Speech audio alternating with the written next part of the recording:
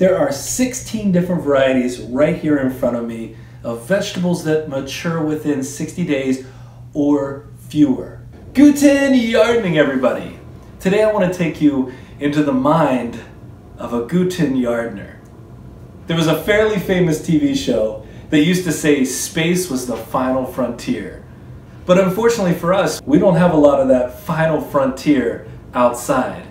So we have to be very careful when it comes to both time and space in order to maximize what we're getting out of our garden. When we're trying to grow 365 days a year and feed our family all the fresh produce we could possibly need, there's so much planning that goes into it.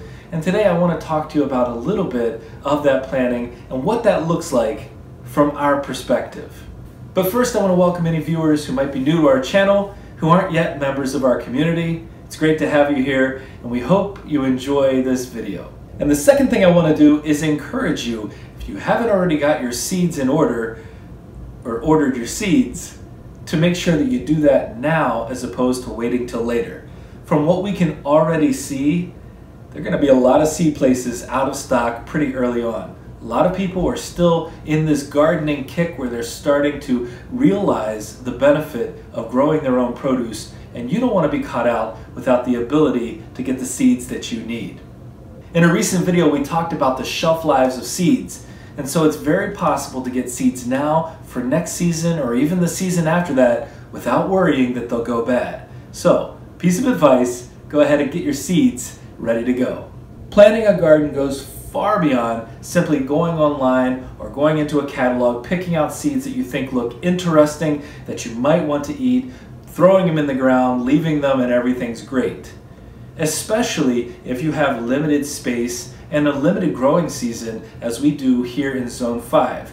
As an urban gardener with less than a quarter acre of space, including our house, we have to make sure that the vegetables we put in the ground are going to be ones that we enjoy, that our family wants to eat, but that also grow in a timely manner.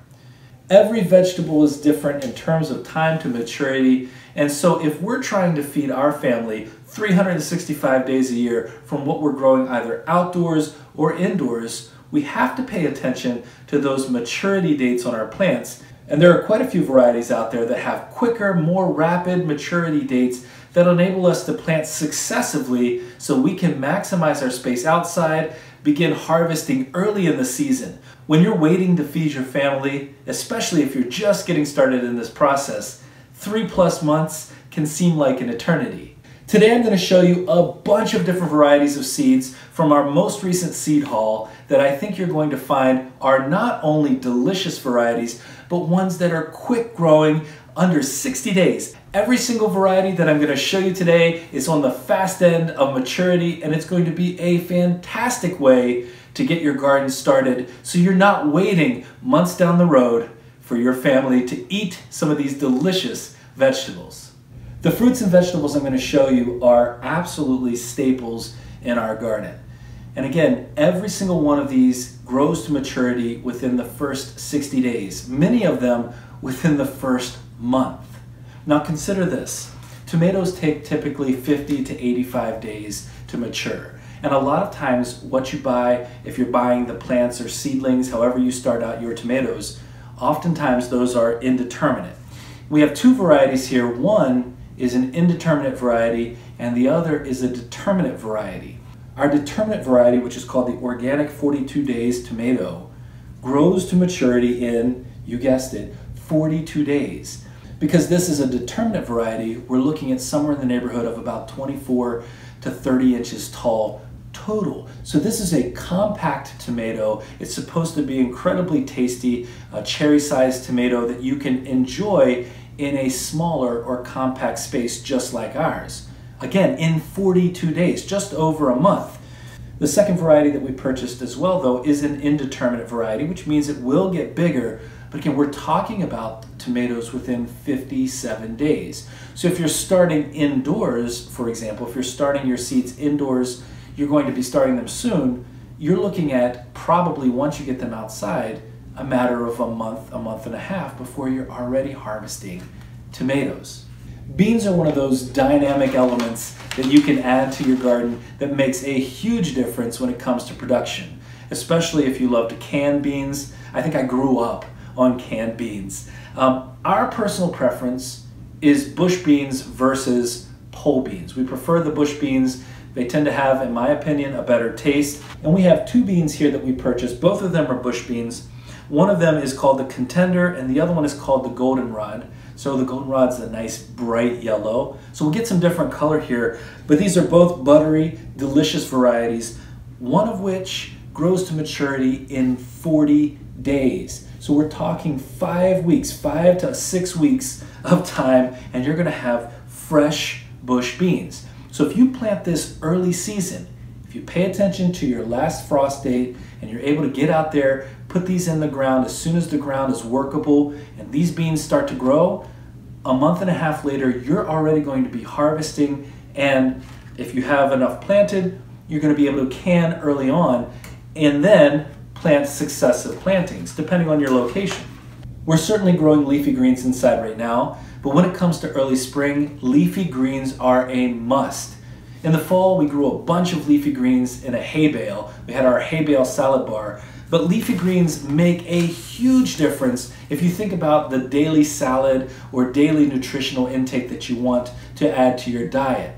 And one of the nice things about leafy greens, like our lettuces, our spinaches, etc., is that they tend to be on the faster side of growth, faster to maturity. Here we have a beautiful new red fire lettuce, some heirloom cutting mix lettuce, and some seaside hybrid spinach, all of which are going to mature within the first month 29 to 30 days. One month, and we can have our own personal salad bar depending on how we plant this. And again, this type of vegetable loves that cooler weather. All of these are bolt resistant, which means that even though you'll probably get some of those really nice hot days that they don't love as much, they'll hold off on bolting. These varieties can also all be grown as cut and come again, meaning that you can go out, harvest some of it, allow it to grow back, harvest more. So you can always be picking at different parts in the garden and feeding your family regularly from the same plants, all in a month. One of the things we want to make sure that we do when we're planting and deciding on our garden and our garden space is to grow things that not only we as the parents like, because we have different taste buds than our children, we want to grow things that our children will love that are also extremely healthy. We've grown our Pac-Man hybrid broccoli before, which is a 50 to 55 day broccoli, so under two months. But what we haven't tried are these Napoli hybrid carrots, which are 45 to 60 days. We've had some carrots in the ground for three months and they've provided just a little for us. If we're able to know what our production is going to be in less than two months for these carrots, in 45 days, we know our production. Carrots are one of those vegetables that grow great far into the season, far into the fall. They love that cool weather. In fact, this Napoli hybrid is supposed to be even sweeter when it gets into that cool weather. But if we can see results from this early on, if we plant it early on in the season, then that means we'll have again successive planting and we know our children love these carrots as much as we do. I almost said as much as they love us. I don't think that's true. And on top of that, one of the things that we've been saying we want to do is to grow more cucumbers. We had a miserable time this past year trying to grow cucumbers. And here we have an artist hybrid pickling cucumber, which is something we want to try to do as well. We want to try to create pickles this year. And this is a 45 day variety. So one of the additional benefits of growing these vegetables that are under 60 days is even if you have a shorter growing season, ours is about 100, 110 to 115 days. If you have a shorter growing season, you can experiment with these, you can grow them, see the results, and you won't have wasted the entire season if they don't bear the kind of fruit that you expect. And along those lines, up until the squash vine borer came late in the summer, we had better luck with our summer squash than we have had in the past. I don't know why summer squash has been difficult for us. For a lot of people, that's like your go-to. Zucchini, summer squash, that's the go-to. That's supposed to be the easiest vegetable to grow. But for us, we've legitimately struggled with production, with powdery mildew, a bunch of other issues.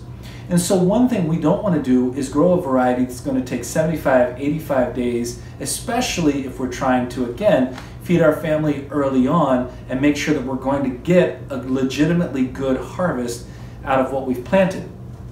And so we found two varieties that are going to show us their potential before we get even halfway through our growing season. We have an Easy Pick Gold 2 hybrid, which is 45 to 50 days growth, and you're not going to believe this. A Green Griller hybrid, which is perfect for grilling, so they say, that's ready in 38 days. A little over a month to some delicious summer squash perfect right in time as that grilling weather approaches? Absolutely perfect.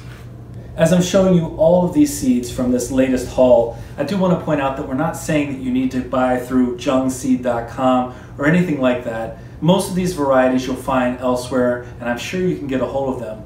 But what we are saying is a little bit of searching brought us to a place where we have these really quick growing vegetables that we want to put in the ground early on so that we're feeding our family right away. And that's something that we think you can find as well. Plants like this okra that's 60 days or less, or this kohlrabi variety. And when we plant kohlrabi, they're pretty quick growing brassicas anyway. They're usually, I don't know, 50 to 70 days. This variety takes 37 days to get to maturity.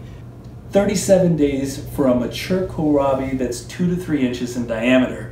And one of the cool things when we read up about this particular variety of kohlrabi is they said that it maintains itself in the ground for a long time without becoming woody, which is one of the concerns you have when you're growing kohlrabi, depending on the variety. Now, our focus on the seeds that I've shown you today is all about time and it's about space. Some of these determinate or bush varieties provide nice compact examples of vegetables that you can plant just about anywhere that are not going to take up a ton of space but that are going to be very productive. But we did throw in one variety, it's still 60 days, that's going to take up a little bit more space, but it's a whole lot of fun. This is our Sweet Beauty Hybrid Watermelon, and the vines on this grow about 9 feet. So that's something you might want to keep in mind when you plant it. But having fresh watermelon after 60 days, you can't go wrong, right? There are 16 different varieties right here in front of me of vegetables that mature within 60 days or fewer. And many of these varieties mature within 30 days. So if you're looking to start out your garden strong, to feed your family quickly from the fresh produce that you're growing outside, well, I don't think you can go wrong with these types of vegetables. This is just another step in the journey of planting your garden that's going to result in a happier, healthy garden that your entire family can enjoy. We hope you enjoyed this video, and if you did, don't forget to give us a like, leave us a comment, remember to share and subscribe. We want to encourage as many of you as possible to join us as we head toward feeding our family from our garden 365 days a year. And remember, when you're with us, you are good to grow.